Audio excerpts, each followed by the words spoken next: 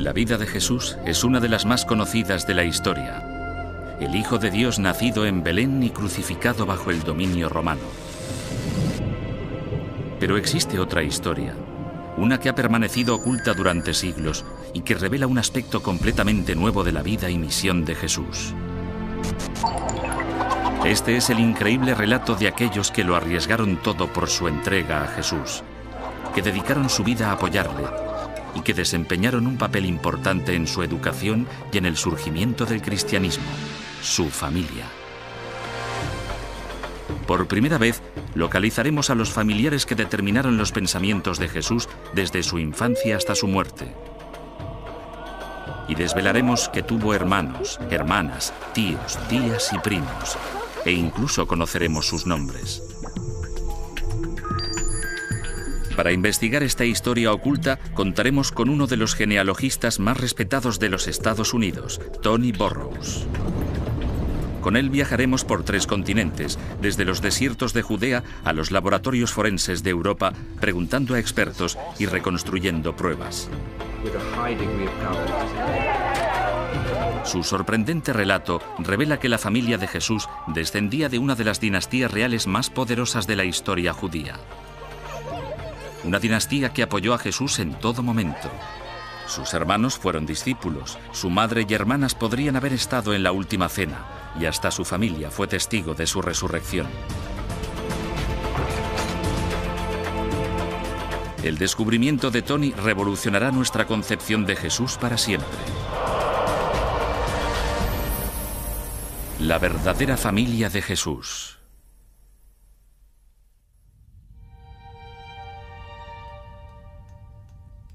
De acuerdo con los evangelios, da la impresión de que Jesús era hijo único. Pero la realidad podría haber sido muy distinta.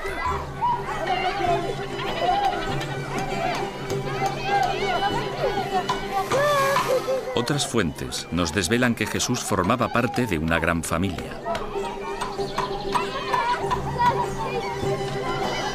En lugar de haber tenido una infancia solitaria, habría estado rodeado de ruido, caos, conversación, todos los avatares de una vida familiar normal.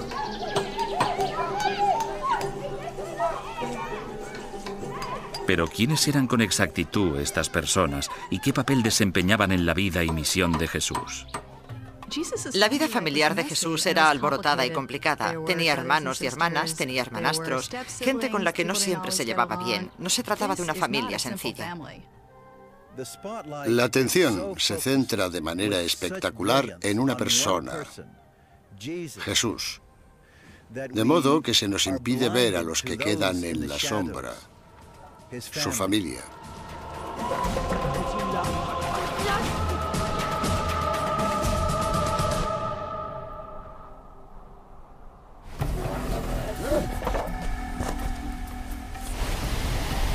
Hemos contado con la ayuda del ilustre genealogista Tony Burrows con el fin de indagar en el árbol genealógico de Jesús. Burrows ha dedicado más de 20 años a localizar el árbol genealógico de cientos de familias afroamericanas. Pero el reto al que ahora se enfrenta es el más importante de su carrera. Estudiar a la familia de Jesús es un enorme reto, ya que no hay parientes a los que acudir a preguntar. No contamos con los archivos modernos que tenemos hoy en día. Así que intentar reconstruir los escasísimos documentos que existen será un gran desafío. La búsqueda llevará a Tony a través de Oriente Próximo desde los archivos secretos de Israel a las bibliotecas europeas, donde encontrará unos escritos cristianos de los cuales la Iglesia no suele hacerse eco. Asimismo, Tony volverá a estudiar textos más conocidos, como los Evangelios de Mateo, Marcos, Lucas y Juan, en el contexto temporal en que fueron escritos y usando sus técnicas genealógicas, aprovechará estos recursos para detallar minuciosamente quiénes fueron los familiares de Jesús y crear por primera vez su árbol genealógico. Es un viaje que cambiará su perspectiva para siempre. Descubriremos que Jesús tenía hermanos, y puede que algunos de ellos se encontraran en los momentos clave de su misión.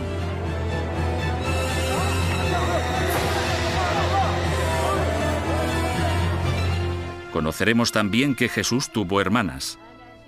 Tony investiga cuántas fueron y cómo podrían haberse llamado. Jesús tuvo un grupo de apoyo al igual que las demás familias, por lo que si sabemos quiénes fueron los miembros de su familia y los papeles que desempeñaron, podremos comprender mucho mejor a Jesús. Pero Tony no solo está decidido a averiguar quiénes fueron los familiares de Jesús, sino que también desea saber qué aspecto podrían haber tenido. Su búsqueda le lleva a Galilea, donde nació Jesús. Allí conoce a una familia cuyos antepasados han vivido en la zona durante dos mil años. Y descubre que a través de los cráneos antiguos y con la ayuda de la tecnología informática pueden recrearse los rostros de una familia del siglo I. Para Tony, este es un viaje de grandes descubrimientos. Este estudio ha cambiado por completo mi visión de Jesús y el papel que jugó su familia. Para mí ha sido un viaje increíble hasta límites insospechados.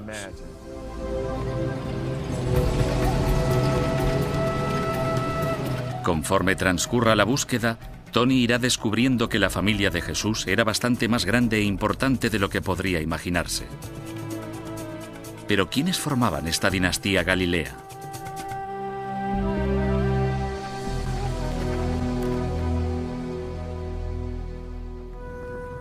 La imagen tradicional de Jesús como hijo único se remonta ya a la historia de su nacimiento. Los evangelios nos relatan cómo María, en avanzado estado de gestación, y su marido José se dirigían a Belén, donde ella acabaría alumbrando a Jesús en un pesebre y quizás lo primero que nos sorprendería sería la temprana edad de María. A las chicas se las casaba cuando eran adolescentes, alrededor de los 13, 14, 15, 16 años, así que podían quedar embarazadas a muy temprana edad. Aunque pueda parecernos espantoso, era un hecho muy normal en el siglo I. Muchos cristianos creen que Jesús era el único hijo de María. Pero cuando Tony empieza a estudiar las pruebas, encuentra pistas que muestran un panorama muy diferente.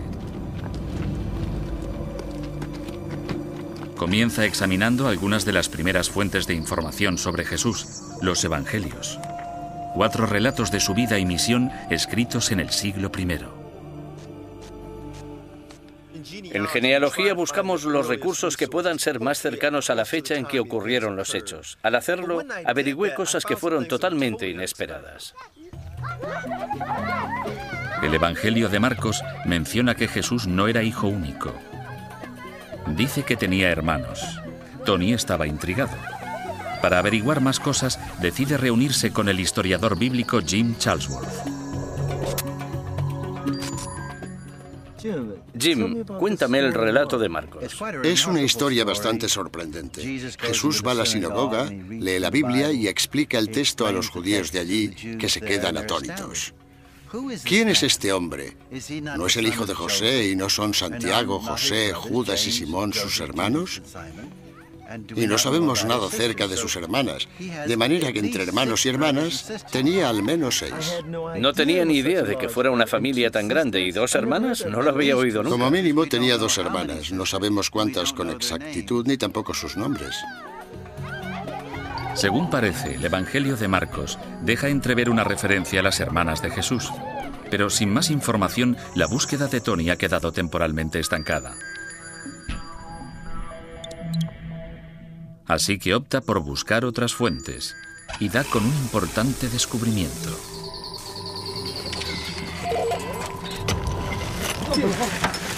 Durante siglos se venía pensando que los evangelios eran la única información sobre la familia de Jesús. Pero en 1902, unos arqueólogos que excavaban en Egipto descubrieron un antiguo texto sirio conocido como el protoevangelio o la narrativa de la infancia de Santiago. Lo que contenía en su interior desentrañaría secretos anteriormente ocultos sobre las hermanas de Jesús.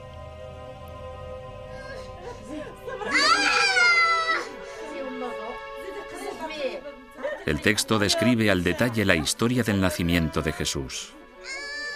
Pero existen interesantes diferencias entre la historia que cuenta y el relato tal y como aparece en los Evangelios.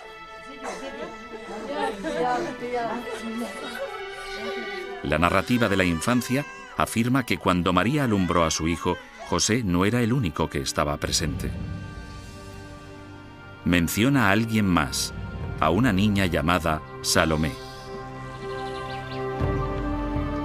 Sin embargo, no se dice quién era Salomé y por qué se encontraba allí en ese momento. No obstante, una nueva teoría sugiere algo revolucionario. Es posible que existiera una relación muy estrecha entre Salomé y María y José.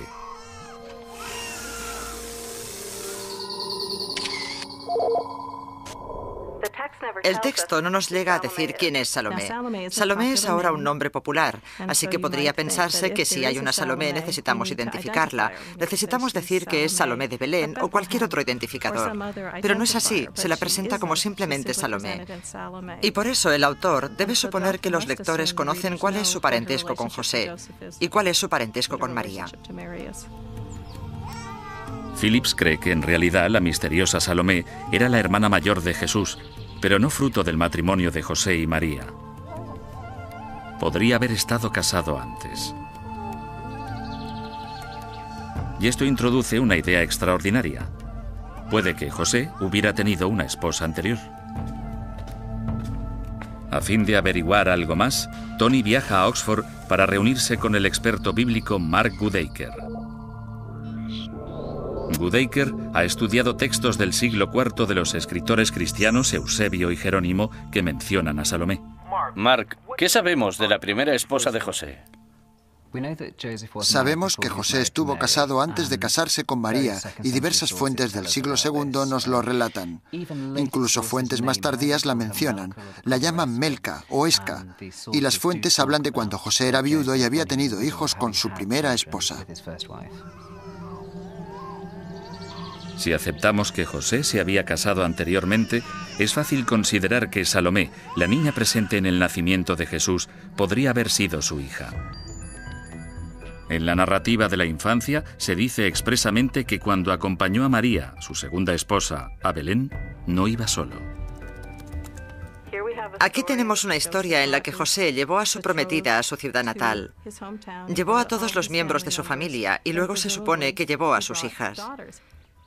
En dicho contexto, es más razonable imaginar que fuera la hija de José que una desconocida. Es una afirmación sorprendente y sin embargo totalmente verosímil. Jesús tuvo una hermanastra y se llamaba Salomé.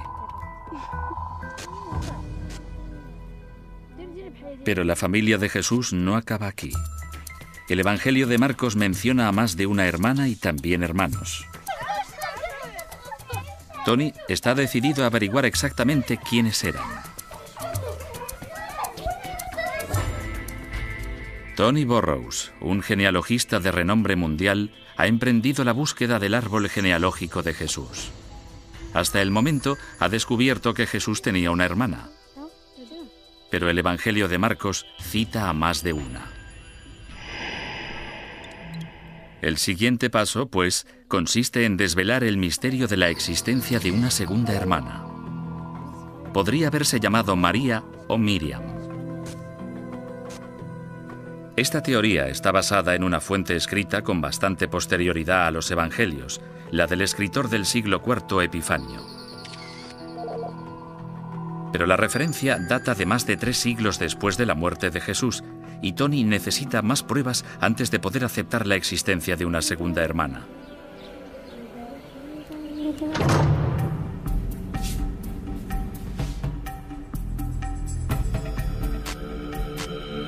Un almacén de las afueras de Tel Aviv, en Israel, puede proporcionarle las pruebas que necesita. Esta es la mayor colección mundial de osarios del siglo I, urnas de piedra que contienen los huesos de los muertos. Las inscripciones que aparecen en ellas nos ofrecen una nueva y fascinante oportunidad de conocer los nombres de las mujeres en tiempos de Jesús. El arqueólogo Joe Zayas ha estudiado estos osarios. ¿Y qué es esto? Es un osario judío del siglo I, y lo que lo hace especial es esta inscripción de aquí que está en arameo.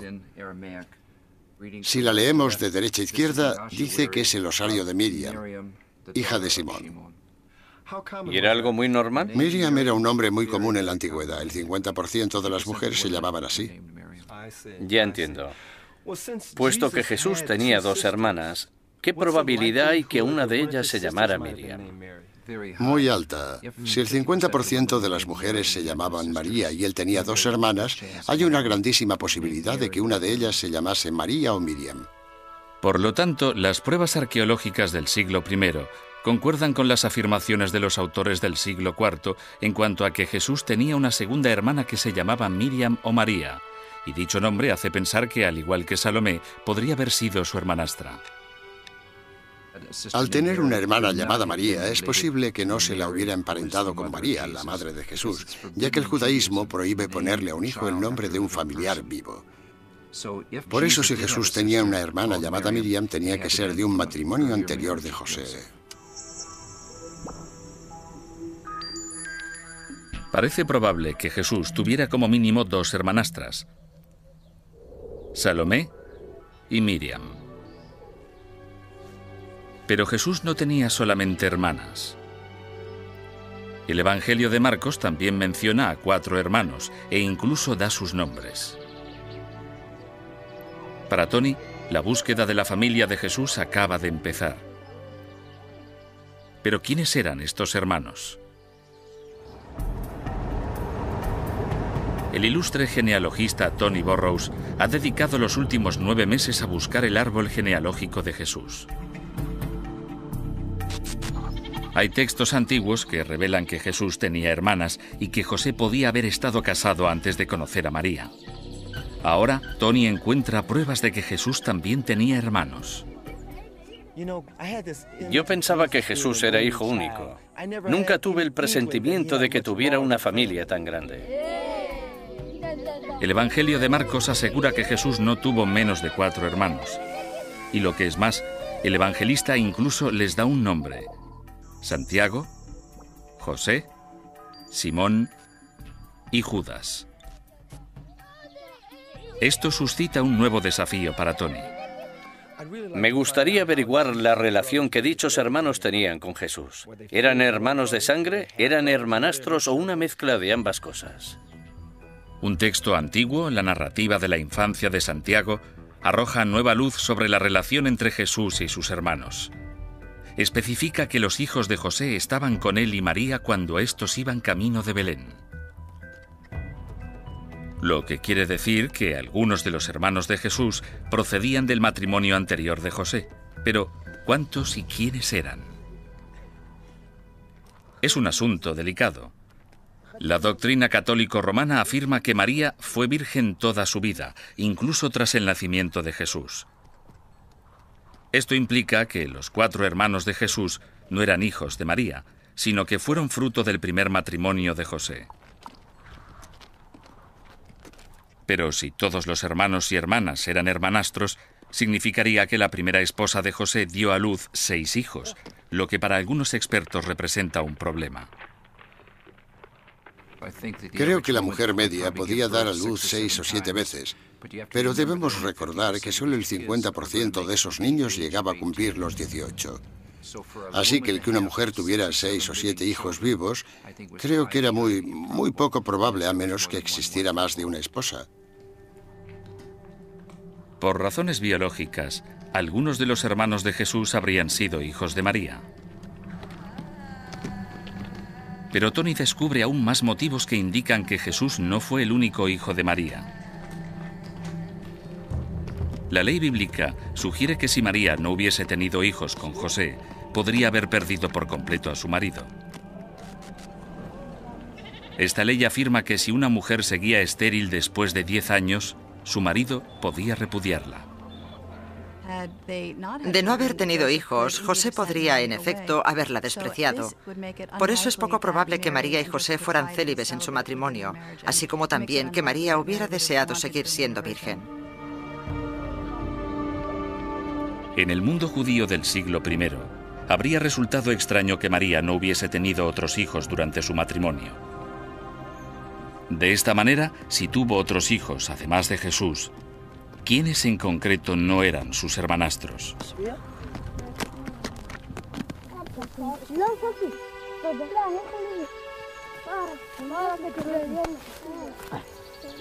Puede que hallemos una pista en los nombres de los niños mencionados en los Evangelios, Santiago, José, Judas y Simón.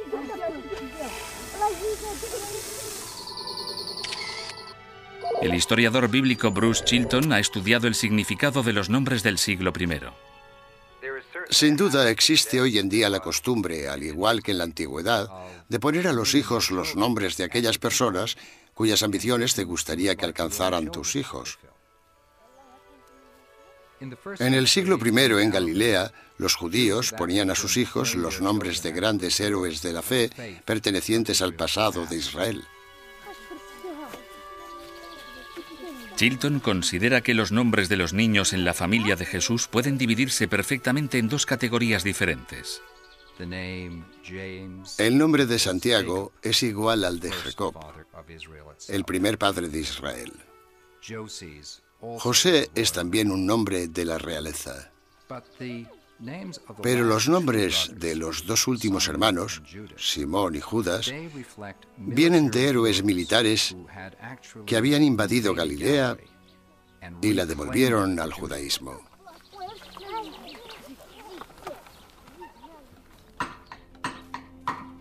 Solamente madres distintas podrían haber puesto nombres tan diferentes. Esto puede parecer sorprendentemente liberal para una sociedad del siglo I. Sin embargo, la Biblia desvela que era tarea de las madres y no de los padres poner nombre a los hijos. La tradición bíblica nos ofrece varios ejemplos de mujeres que pusieron el nombre a sus hijos, lo que permitiría que una mujer reafirmara el sentir propio que tenía hacia su hijo. Saber qué esposa de José eligió el nombre de cada niño es la clave para averiguar quiénes fueron hermanos o hermanastros de Jesús.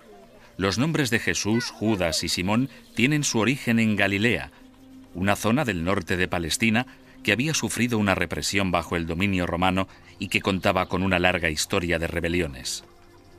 Aquí fue donde se crió María. Y ese pasado violento era algo que le habría dejado una eterna huella.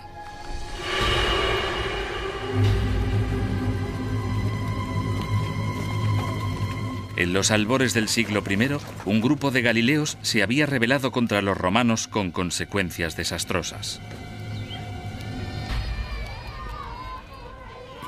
El levantamiento fue abortado y se afirma que 2.000 personas murieron en la cruz. María, como muchos niños de esa época, habría odiado a los romanos. Esa opresión alimentó la esperanza de los judíos en la llegada de un rey guerrero que les ayudaría y guiaría, un Mesías. La experiencia de María puede contener la clave para discernir qué niños fueron suyos. Si buscamos el momento en que José unió su primera familia a la segunda, deberíamos emplear lo que indican sus nombres, el cada vez mayor nacionalismo que reflejaba las pasiones de María.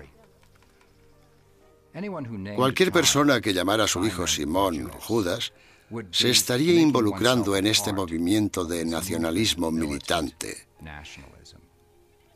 y lógicamente se asocian con el nombre más militarista de todos los hermanos, el mismísimo Jesús, que procede de Josué, el mayor conquistador dentro de la tradición bíblica.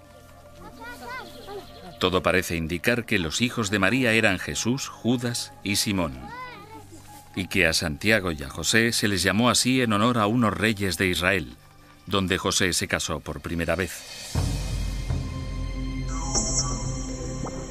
Esto significaría que Jesús formaba parte de una gran familia con dos hermanos menores, dos hermanastros mayores y dos hermanastras. Se cree que Santiago era el mayor de todos los hermanos. En el Nuevo Testamento, cuando se citan los nombres de los hermanos, Santiago aparece encabezando la lista como si fuera el primero, el principal, y por consiguiente el mayor de los hermanos.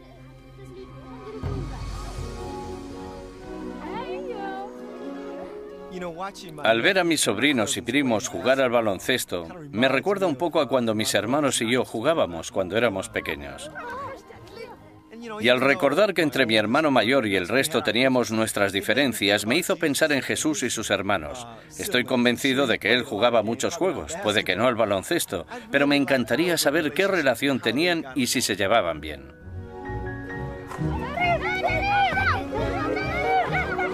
Para llegar a comprender bien la dinámica familiar entre los hermanos y hermanas de Jesús, Tony visita a un ilustre psicólogo, el profesor Alex Garner, especializado en relaciones familiares. Garner cree que Santiago, por ser el hijo mayor, habría recibido un trato diferente que sus hermanos. Todo el mundo aprecia a un primogénito, especialmente si se trata de un varón, porque asegura la sucesión y eso es muy importante. Por eso se les hacía más elogios y se les prestaba más atención. De esa forma aumentaría su autoestima. Pensaría que se le habría concedido algún tipo de autoridad. Como primogénito, Santiago tenía derecho a heredar el doble que sus hermanos de la propiedad de su padre y a suceder a José como cabeza de familia.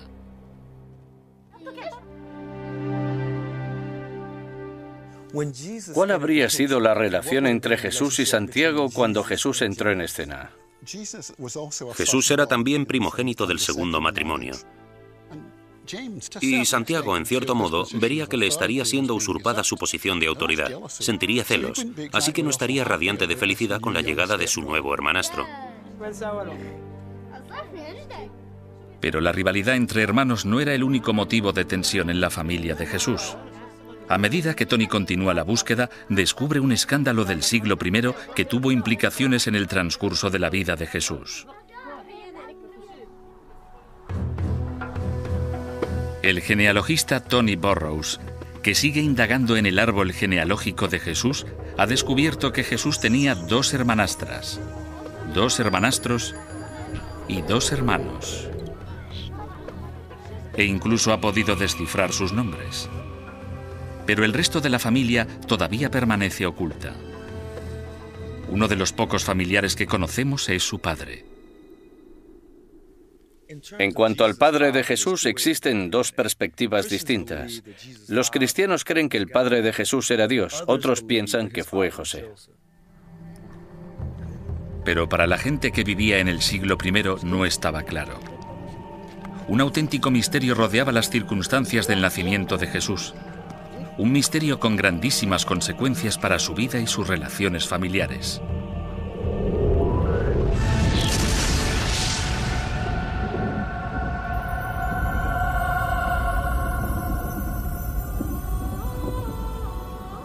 En los Evangelios se narra que a María la visitó un ángel que le comunicó que el Espíritu Santo descendería sobre ella y que concebiría un hijo.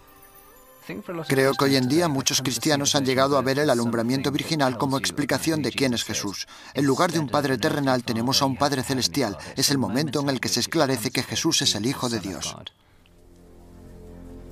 Esta fue la idea que trascendió en la iglesia de los primeros cristianos muchas décadas después de la muerte de Jesús. Pero durante su vida circularon rumores que indicaban que las circunstancias de su concepción podrían ser bastante diferentes de la versión tradicional.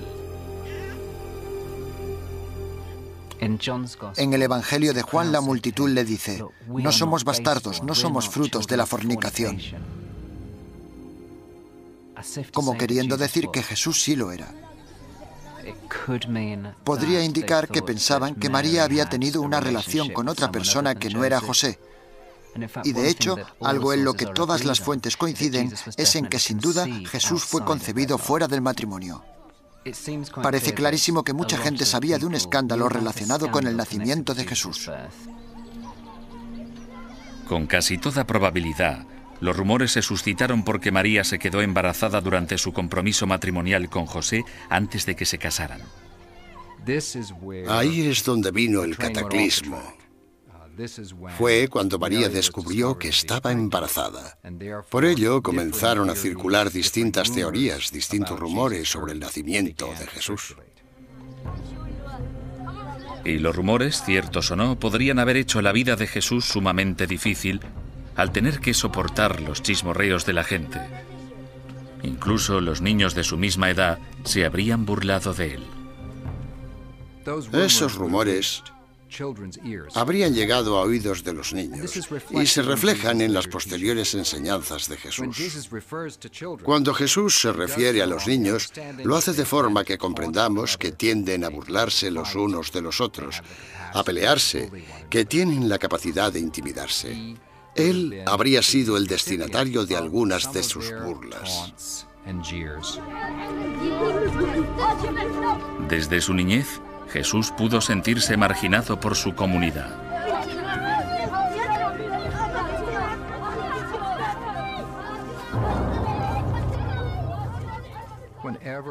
Cuando un niño se da cuenta de que los demás niños se relacionan con él de forma diferente, ese niño se siente aislado, al margen de los demás. Se pregunta, ¿quién es exactamente? Puede que nunca conozcamos las circunstancias exactas del nacimiento de Jesús. Lo que sí sabemos es que los evangelios manifiestan que José se hizo cargo de Jesús. No tengo ninguna duda de que Jesús y José estaban muy unidos.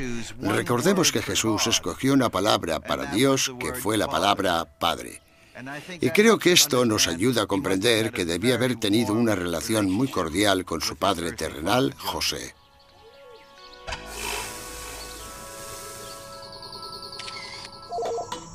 Tony ha descubierto información sobre el padre de Jesús y sobre cómo habrían afectado las circunstancias de su nacimiento en su infancia. Pero ahora quiere ir más allá de la familia inmediata de Jesús. En la genealogía, la búsqueda más importante es identificar quiénes son los padres y los hijos. Luego ampliamos nuestra búsqueda para averiguar quiénes eran las tías, tíos y primos, porque todos ellos desempeñaron un papel en la vida de esa persona. Tony descubre que una de las figuras más famosas en el Evangelio podría haber sido el primo de Jesús.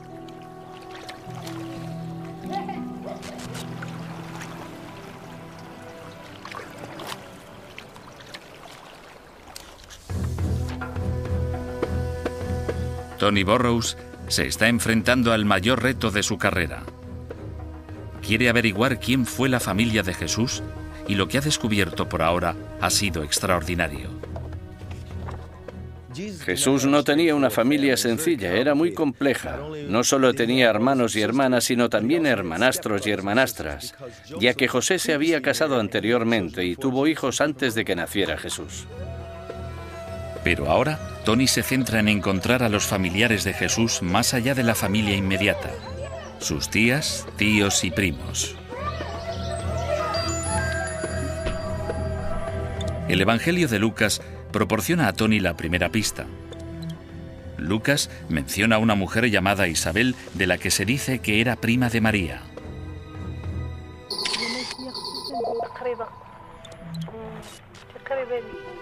Isabel era mayor que María y durante muchos años no había podido tener hijos.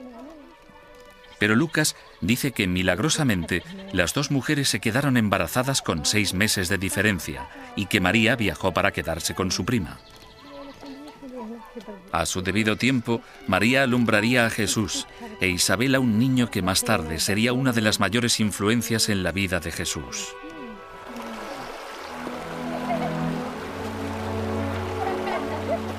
Juan Bautista. Uno de los personajes más importantes de la historia podría haber sido el primo segundo de Jesús. Pero la relación exacta entre Juan y Jesús es controvertida. Algunos eruditos no están convencidos de que tuvieran parentesco. En realidad en la Biblia nunca se les describe como primos. Se presupone por el parentesco entre María e Isabel. Algunos expertos consideran que Lucas pudo haberse equivocado. Creo que no había parentesco de sangre entre Jesús y Juan Bautista. En la antigüedad existía una tendencia a asociar a las personas que eran poderosas e influyentes directamente como si fueran parientes. Así que en este caso hay una tendencia en el Evangelio de Lucas a crear una línea sanguínea donde en realidad lo que hay es una relación espiritual mucho más importante. Sin embargo, otros expertos creen que el relato de los evangelios sobre la visita de María a Isabel implica que estuvieron emparentadas.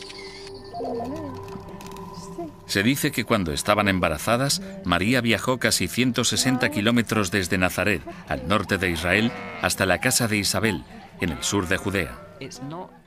No es lo típico que uno haría. No viajaría kilómetros y kilómetros para ver a un pariente muy lejano, por lo tanto Isabel y María tenían que ser familiares muy cercanas. Hay otro argumento convincente. El Evangelio de Lucas se escribió cuando todavía vivían miembros de la familia de Jesús, que podían haber puesto fácilmente en entredicho cualquier afirmación falsa. Así que, a fin de cuentas, las pruebas sugieren que la versión de Lucas es fidedigna. Isabel y María estaban emparentadas, y Jesús y Juan eran primos. Siempre pensé que Juan Bautista era un hombre mucho más mayor, alguien a quien Jesús admiraba y al que no conocía de antemano. Así que descubrir que en realidad eran primos me dejó anonadado. Pero no solo María tenía una gran familia. Parece ser que José también había tenido un hermano. Según el historiador del siglo III, Eusebio, el tío de Jesús era un hombre llamado Clopas o Cleopas en griego. Pruebas arqueológicas señalan que podría haber conocido muy bien a su tío. En el siglo I, las casas se organizaban en torno a los hombres de la familia. Padres, hermanos, hijos y sus familias vivían todos juntos alrededor de un patio central. Jesús habría crecido rodeado no solo por hermanos y hermanas, sino por tíos, tías y primos.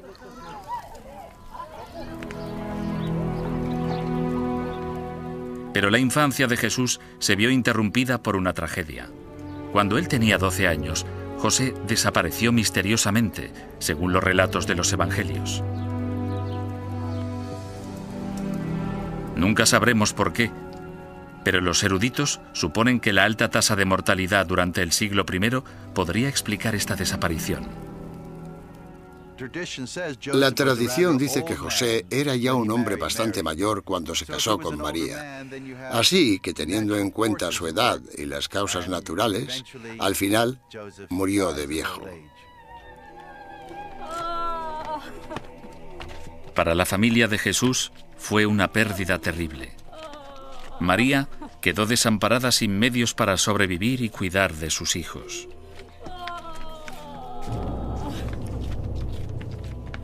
Y para Jesús, perder al hombre que había conocido como padre fue una tragedia.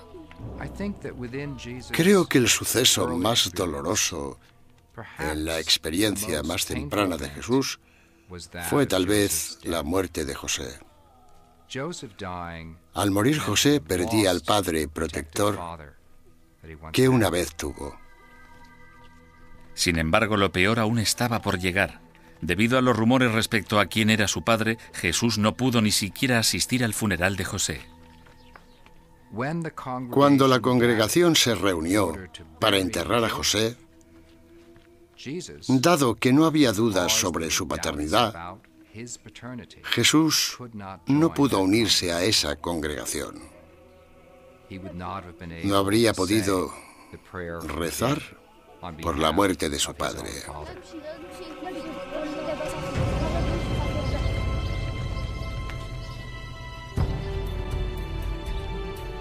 La pérdida de José marcó el final de la inocencia infantil de Jesús. Cuando mi padre murió, yo tenía poco más de 20 años y me hice hombre antes porque tuve que asumir más responsabilidades. Y supongo que Jesús, con 12 años, se hizo hombre a una edad más temprana. Y para el hermano mayor, Santiago, fue el comienzo de un nuevo rol como cabeza de familia. Santiago habría tenido que soportar la carga de tratar de mantener el honor de una casa en la que había un niño que había sido marginado. Y considero que eso solo habría creado la mayor de las tensiones entre él y Jesús, su hermano menor.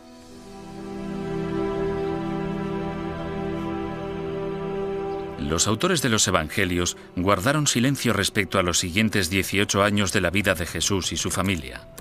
No obstante, para Tony hay una nueva etapa en su búsqueda.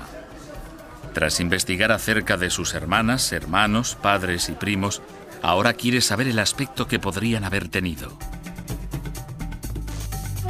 Tony descubre cráneos antiguos y se desplaza a Gran Bretaña, donde científicos forenses usarán la última tecnología para reproducir los rostros de una familia del siglo I.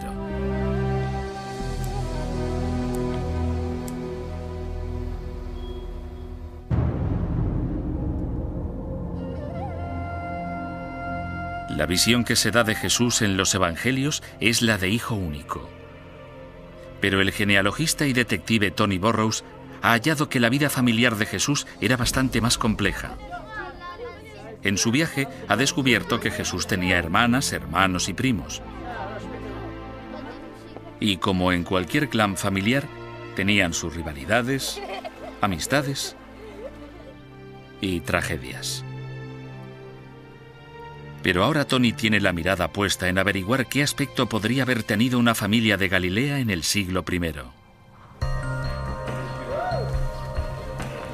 La búsqueda de pistas conduce a Tony de regreso a Nazaret, la ciudad donde Jesús pasó su infancia. Recuerdo la imagen que tenía de Jesús cuando era pequeño, con el pelo rubio, los ojos azules, la piel blanca. Y sentado aquí en los lugares donde se crió, veo imágenes de personas muy diferentes y me estoy preguntando qué aspecto tendrían Jesús y su familia. Pero recrear el parecido de una familia judía del siglo I es una tarea de enormes proporciones. Por desgracia, las caras del siglo XXI no sirven de guía.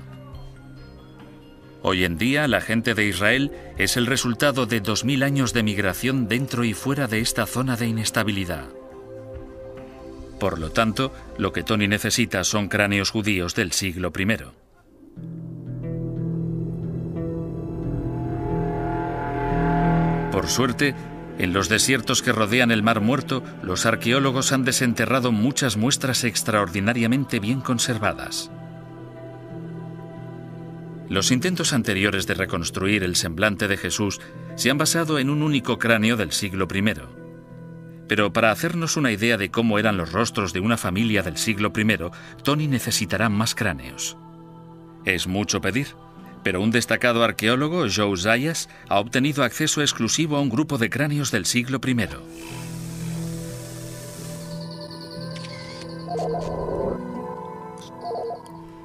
Lo que tenemos aquí son cráneos de cuatro individuos del siglo I. Tenemos a un varón a la izquierda, a una mujer adulta y aquí tenemos a dos niños o adolescentes. Lo que me fascina más es que si miramos los cráneos, vemos como esta zona es redonda a diferencia de la mayoría de los Jesús con cráneos muy largos y estrechos que vemos hoy en día en las películas.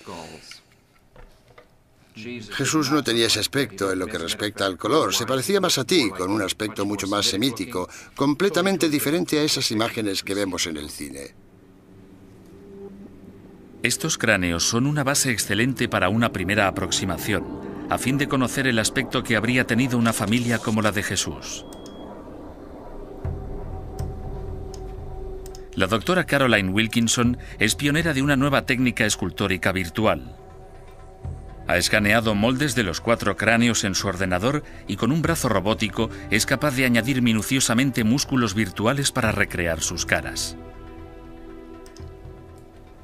Estas reconstrucciones muestran un gran parecido con esos individuos.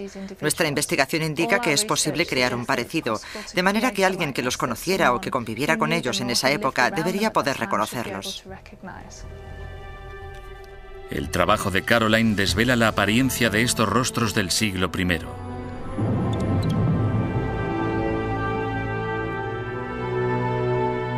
Pero este grupo de cráneos procede de la región del Mar Muerto, a unos 250 kilómetros de donde vivía Jesús en Galilea. Ahora el reto para Tony consiste en mejorar dichos parecidos a fin de que reflejen a una familia galilea del siglo I.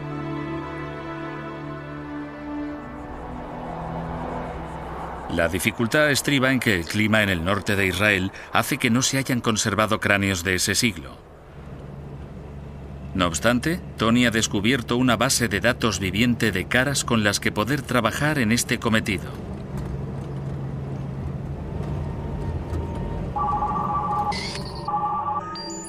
En los montes de Galilea, a solo 55 kilómetros de Nazaret, hay una familia que asegura haber vivido en la zona desde los tiempos de Jesús. Resulta increíble pensar que una familia pueda remontar sus orígenes familiares hasta 2000 años.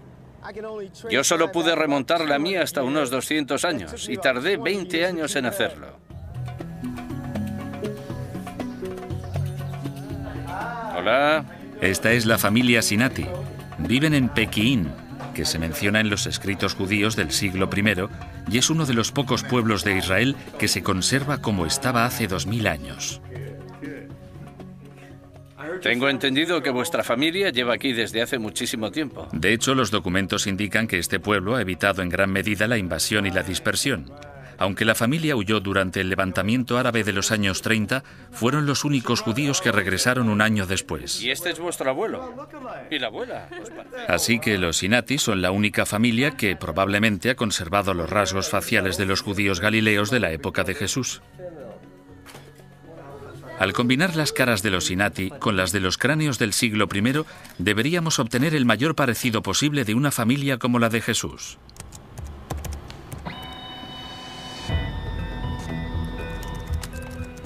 Para conseguirlo, Tony se reúne con el doctor Charlie Fraud. Su equipo ha diseñado un nuevo sistema revolucionario para reconstruir rostros. Charlie, ¿de qué manera nos ayudará este proceso a que nos hagamos una idea de qué aspecto hubiese tenido una familia del siglo I, digamos que la familia de Jesús? Lo que he hecho es importar las caras de la familia Sinati para sacar un modelo de cara.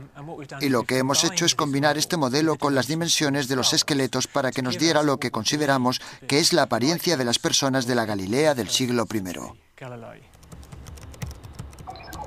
Las dimensiones de los cerebros y los datos visuales se combinan después para producir el retrato robot de un varón y una mujer adultos, una madre y un padre, a partir de los cuales se crearán los rostros de los hijos virtuales. Y si después reproduzco juntas esas caras y uso el modelo de cara y lo que ya sabemos, estos son los hijos que generamos. Creemos que este es el mayor parecido a una familia del siglo I. Es francamente asombroso, increíble. ¿A que está bien? Por supuesto, estos no son los auténticos rostros de la familia de Jesús, pero son las imágenes más precisas que jamás se hayan generado de una familia media del siglo I.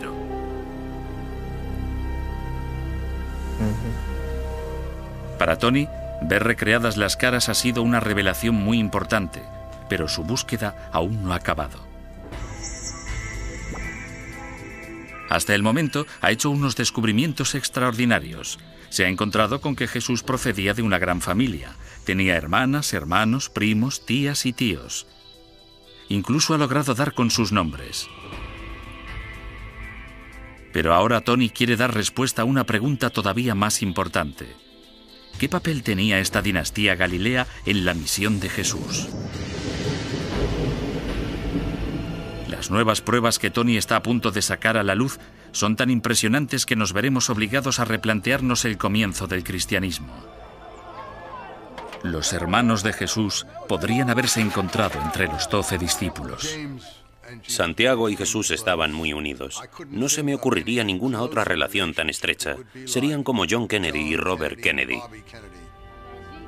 Sus hermanas, Salomé y Miriam, podrían haber preparado la última cena.